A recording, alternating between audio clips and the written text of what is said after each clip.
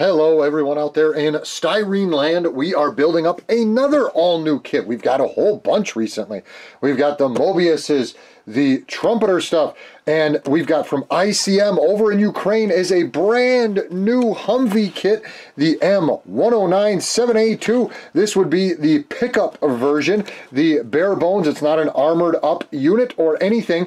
They have developed all new molds. It's 156 pieces in the box. We're going to be able to build it one of two ways. We're going to do the NATO camo or the desert camo. Obviously, if you've seen the thumbnail, you know what color I decided to go with. So let's take a look at everything that will be in the box. This is hitting the market right now. You should be able to order this from your hobby shop or your favorite online retailer. This is the product number 35435. 135th scale, which is uh, by far the most popular scale in military modeling in the world. So that's why it's in that scale and not in 124th or 172nd, though I'm sure 172nd is probably coming. Taking a look at ICM's gorgeous new molding They've got all the parts here. We're down to our transfer case. We've seen these parts in larger scale model kits from other manufacturers. We've got our suspension, the independent suspension, front and rear. We've got our seat boxes, exhaust systems, manifold off that big diesel. Here we've got our steering and sway bar components. These things can take corners, let me tell you. I've been in them, I've driven them down in uh, Fort McCoy and stuff, and these, these things can corner. Fully independent front suspension, so we've got CV joints front and rear. The brake discs on these are up at the top right next to the differentials. And when you hit the brake, they're extremely touchy. These things will stop on a dime and give you 9 cents change. Then we get into very, very, very small detail parts. We've got drive shafts here, front and rear. We've got linkages for steering and suspension. We've got some of our braces behind the cab or for the windshield. So they've really broken this down into numerous, numerous steps. You could get away with a lot less parts, but this is going to be the absolute most modern and highly detailed kit of the Humvee you're ever going to see. We've got the sides of our body. You can see the little fuel door in there. We've got our engine block halves, oil pan. We've got our hood with separately molded vent. We've got our body pan. So a lot of you car modelers will enjoy this and you should pick this up. Grab one of these, build a super detailed Humvee kit. You're not going to find these in the larger scales yet. Maybe we'll get lucky. Maybe they'll build it up and uh, I doubt they would ever do 125th, but 124th is very, very possible. Got our dashboard here. You can see our small gauge cluster. Humvees are automatics in this version. We've got our frame, which I'm so glad to see they didn't break this down into frame rails and pieces. I, I That would drive me nuts in this scale. Upper suspension molded in. More body panels individually molded. Check out, I mean, little tiny rivets in there. And the gray plastic on this is, is always superb. We've got our windshield mount and our inner front fenders, more body pieces, tailgate, got our tailgate mount with our tail lights. Look at how fine the molding is on that. They use a semi-rigid plastic on this. It's not super, super flexible. So be careful. We've got more suspension components. We've got our large coil springs. I don't know if any of you watch Grind Hard Plumbing Company on YouTube. They've got like a bazillion subscribers. Um, but they just took a Humvee like this from an auction and dropped a Corvette motor in it. Got our seat backs, our seat cushions, if you can call them that. All of our towing and attachment points, lighting, more hook and attachment points. Got a duplicate tree for our wheels and suspension and seats. Check out those wheels. Finely detailed. And folks, that is all for the gray styrene. Let me switch sides, because like I said, it's only 156 parts, so not that much more than a regular car model. We've got a clear parts tree, flat glass, which always has a chip in it if you want to do a vehicle that's been used quite a bit. We've got our headlights there. The rest of the lights are molded into the bodywork. A set of four non-brand name. In real life, they're big honking Goodyears, or at least they were. Not sure who sources them for them now. No name brand on there. Perfectly accurate tread pattern. And that is a solid tire. So that will slide in the wheels. We don't have to worry about that. And then we've got a minuscule decal sheet. I should say the decals are minuscule. The sheet is good sized for this scale. We've got all of our instrumentation. We've got serial numbers, unit numbers, got our dash cluster there, and then we've got our tail lights, our reflector lights. So the stuff you see on here, you could paint it on with a clear Tamiya over silver, or you could use the decal set, whatever you prefer. Usually for me, it's speedier to uh, paint them on, but we'll see. We'll definitely be using the gauges and the fuse boxes and switch boxes and all that on there. So that's it. If you've never been an ICM kit purchaser before, they have wonderful manuals.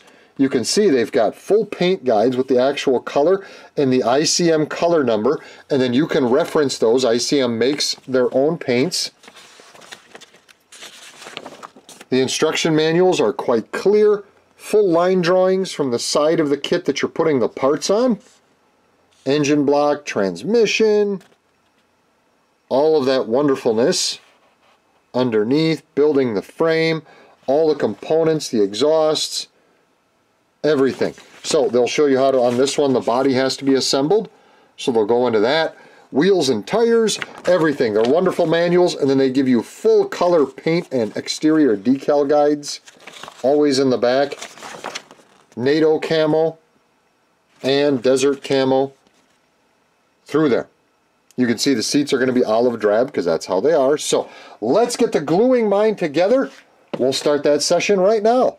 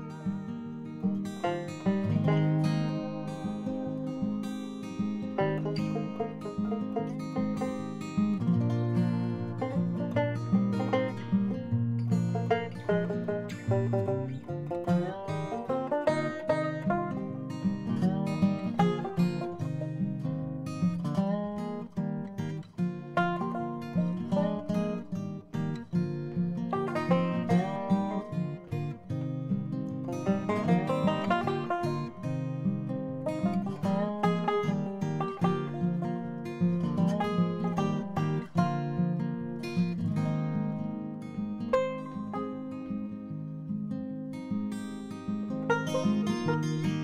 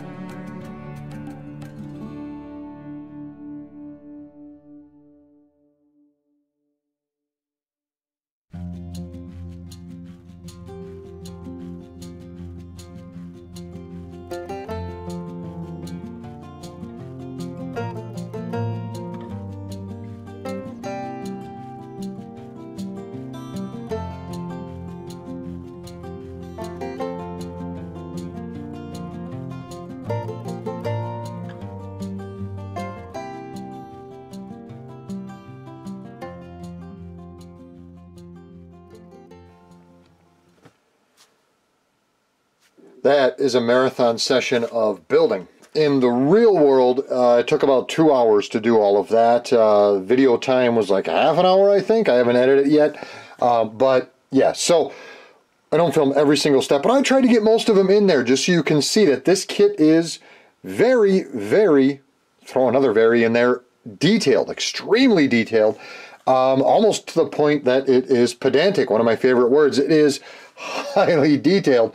Um, what we will get when we're done is this nice chassis. Now, this is a military kit. This is not an automotive kit. So parts are all going to be pretty much NATO black, flat black, um, desert tan or olive drab. That's it, folks. I mean, that's that's what we're going for here. So the painting process is going to be quite easy. I've still got to separate some of the trees. I've got the seats together. I want those. I want to pretty much replicate the box art. So I'm going to do the seats in olive drab, cut those free, do the wheels in desert tan, do the frame and driveline components and all that in a black or a flat black or a NATO black. A NATO black isn't it's it's a very it's a very gray black, and that's kind of what this is looking like. So I'll see if I can find a can of that. Then we've got the engine. You're really only going to see it from the bottom. That's why it has no intake, no cylinder heads, no decoration on the top. That's why on the frame we've just got our inner fenders and then our fan. And on the real engine, when it's in here, most of the truck has it buried. This is down in like so. And most of the truck has this buried in here underneath this larger hump in the center, almost, almost like a van. Over the top of it is the giant radiator that pulls it down. It doesn't have the radiator off the front. It has it underneath the grill and the hood up here.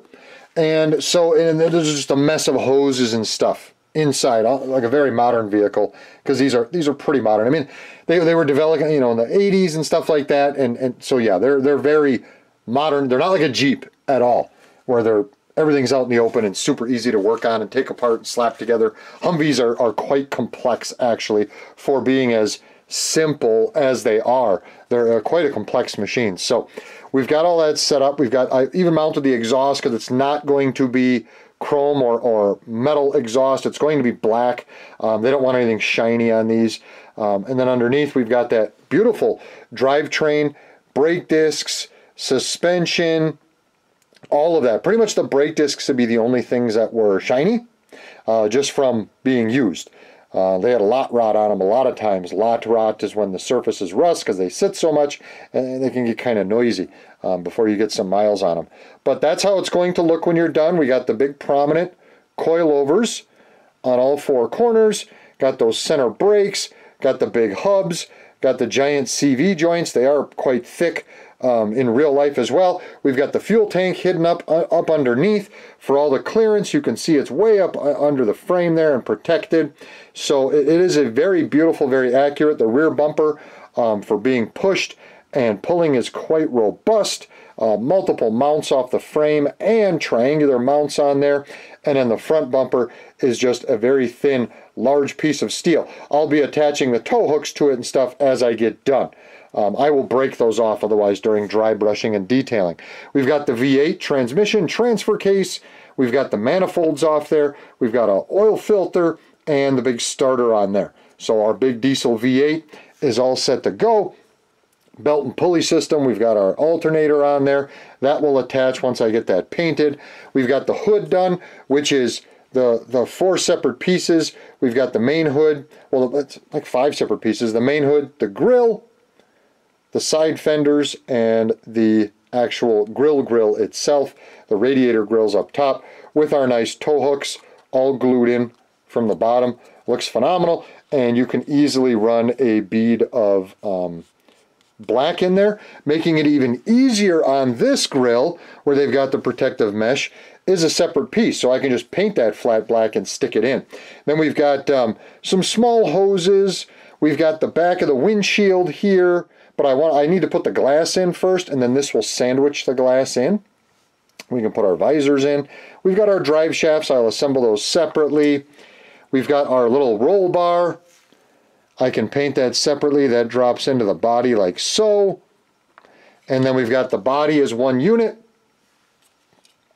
Tailgate is not made to be operational, but you could make it operational. For the pickup truck version, it's going to have those seats blanked out with the little cargo block up there. We've got our mirror mounts built into the windshield. That's pretty awesome. Then all we have to do is glue on our mirrors when we're done. That's exquisite. Don't have to fight that. We've got our air filter, um, but there would be a whole mess of hoses in here that are not represented. The hood does fit nicely. Great fit on that. Nice job. Got our windshield frame in. Got our dashboard, our steering column, still have to mount the steering wheel. Got our seat mounts, even with the little handle on there. So yeah, very, very well detailed, very well designed. Goes together. Uh, it's not a fight to put it together, but it is very fiddly. So you have to take your time, use tweezers and all that stuff. You saw how long that building session was. Now that I've got this done, the painting is going to be quite easy. That's what I'm going to do next. Get some primer on things, get some color. It's only uh, two, three main colors. And I'll see you back in a moment.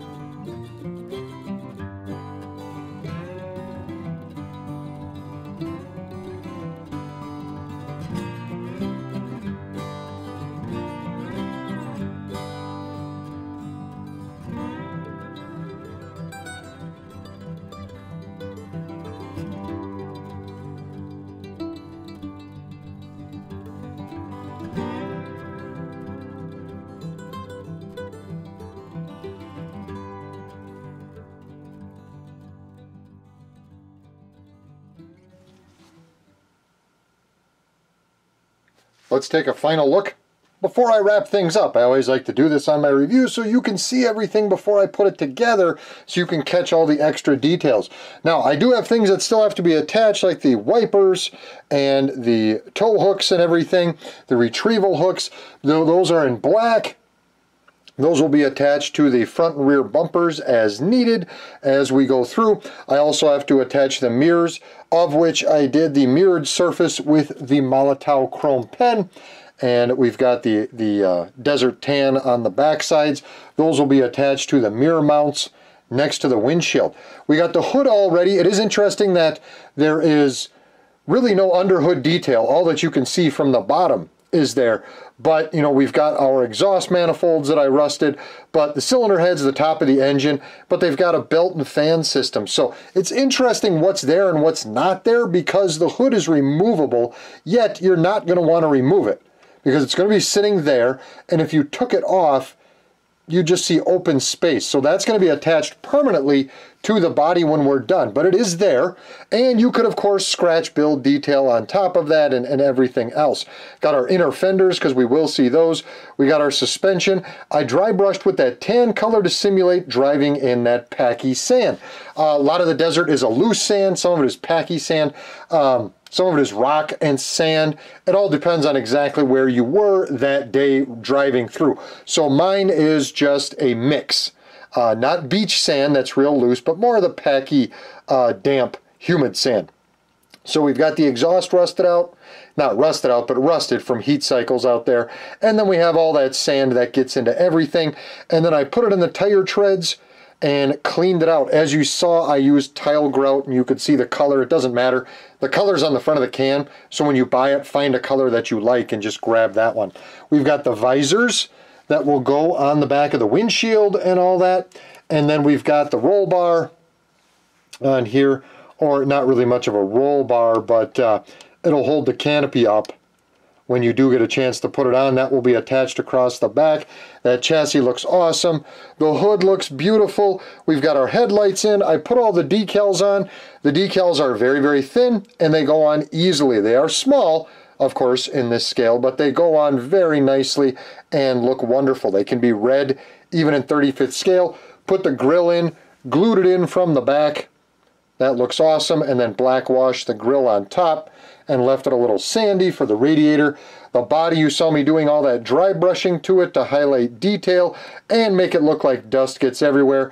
Then I dry brushed the seats, glued those in place, glued the steering wheel, and put all the dash decals, which are small but go in lovely. They've even got decals for the sides of the doors and everything. Got the tail lights on, got the stencils on the back. Even the tire pressure, 40 in the rear, 35 in the front, are on the fenders, black washed around the cleats and everything. And yes, the cleats are, are uh, tan. They're not black on these. Now, things like when you primer with black, you don't really have to do any washing inside the gas cap. Just looks great as it is. Same with the floor pan. All right, it would normally be a blackish, but since I didn't spray hard down in there, we get that deep tone with the dust on top of it, and it looks awesome. That's what's nice about, you know, doing your primer with black on models like this, where you want a lot of shadows is, it does a ton of your work for it. So, very little bit left. I have to drop the body on the chassis like so. That's how hard it is. And then attach the hood Probably have to glue that in place. Well, maybe not. Well, I'll probably glue it anyways, but that's kind of what we're going to look like. Attach the final details. We got the windshield in there, sandwiched in between those two pieces. That's a great idea. Love that. They should do that with more automotive kits. That worked out really well. Great design ICM. Attach my final pieces. When I get back with those, we'll have the final. Another first on the channel, my very first Humvee, the HMMWV. This is the M1097A2 version, and we are guaranteed, I guarantee, since this is an all-new kit, that they will produce other variants. I'm looking forward to seeing an armored version, um, an ambulance version. We'll have to see which ones come out. We'll build another one. When they add substantially to the kit, then I'll go ahead and build it. But the I want to see an armored one with the 50 cal on the top. That would be a really beautiful one to see. I know there's other versions out there, but by ICM doing all new molds, not using 20 or 30 year old molds and doing changes, this is all new. They can really get the detail down. I enjoyed my build. As you see, vehicles of all type can be very fun to build, whether they're regular civilian automotive selections or military. Don't overlook kits just because it's not in a scale that you like. This is 135th. The uh, weekend's build was a 172nd um, fire engine, and we have another scale coming up for the very next video. Will be a much larger scale, and you'll probably enjoy that one too if you love models in general. This build was not very difficult. It was fiddly in some points on the chassis, but the body went together well. It has supreme detail. I mean, window, windshield visors, full mirrors, windshield wipers, um, dual shift levers, and then we've got the e-brake, We've got all our little hook attachment points. We've got our lights in here and an extensive decal sheet. So it builds into a very nice pickup truck version. Like I said, if you don't watch Grind Hard Plumbing Company, I'm not shilling for another channel. They're mega massive. They don't need my reference. But hey, if you've never seen their channel before, throw in the comments, help me out. Say HPI Guys Workshop sent me here because they just bought some Humvees at auction and have transplanted one with a Corvette engine and you got to see it. It's pretty cool. And the guys are very nice and it's a down to earth channel with no fake drama and that's the kind that I like. So anyways, Painting everything with a black primer when you do a military model really does help. Gives you the shadows, and when you want to weather, that's a lot of fun about military models is a little bit of weathering goes a long way. And you don't have to worry about perfect paint jobs and liquid snot clear coats and anything. Pretty much anything goes on these kits. You could build them as if they're just coming off the freight train to the base to be shipped, or if they have been out in the field a while, if they've been damaged, if they've hit an IED, anything, you can take it to any length. Mine is a used desert model, still in use, still on patrol, still being used to haul cargo and some troops. Not first day, but also not trashed out and ready for the parts auction. So that's the kind of stuff I like to do in the military is just slightly used and not absolutely destroyed. This kit is awesome. I want to thank ICM for sending this over. They are developing so much wonderful things. It's just excellent. So once again, Thanks to ICM. Thanks to you for watching. Even if it's not your preferred scale, I know a lot of you still watch the videos just for support, just because you want to see something go together, and that's lovely too. So thank you all. This kit is on the market right now. Again, if you want to order it for yourself, that is the product number 35435 and you can get yourself the latest one. They will have other variants coming out, I know for a fact, because, well, I haven't seen them, but come on, they're not going to design this all new one without doing stuff with it later. ICM is known for that. So we're going to see other variants and I'm going to build them because I am hoping we have a big up armored version with the 50 cal on top so I can put it next to a little pickup truck. Thanks for watching the workshop. I'll see all of you at the next review.